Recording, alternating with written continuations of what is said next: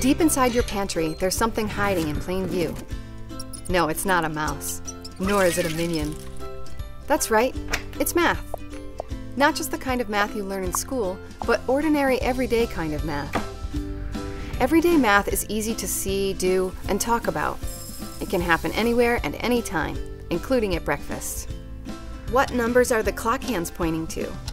Which container holds more? What's this pattern made of?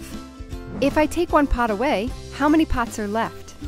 You can start a math adventure anywhere. At the grocery store, go on a hunt for numbers. Let's hunt for a six. Five, three, nine, nine. There's the six. Switch from a number hunt to other games like a more or less game. Which one costs less? That one! That's right. Math is everywhere. There are endless ways to see, do, and talk math everywhere you go.